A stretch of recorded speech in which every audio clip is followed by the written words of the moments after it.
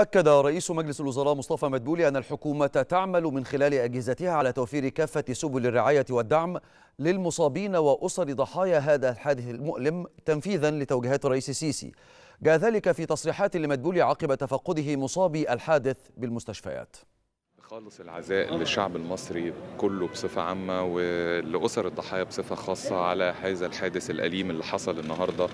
صباحا في كنيسة أبو سيفين في منطقة أرض مطار إمبابة في إمبابة في محافظة الجيزة. والحقيقة يمكن الحادث الأليم ده نتج عن حريق حصل في مبنى الكنيسة نفسه. ومن أول لحظة الحقيقة الدولة كلها بكل أجهزتها اتحركت بصورة فورية.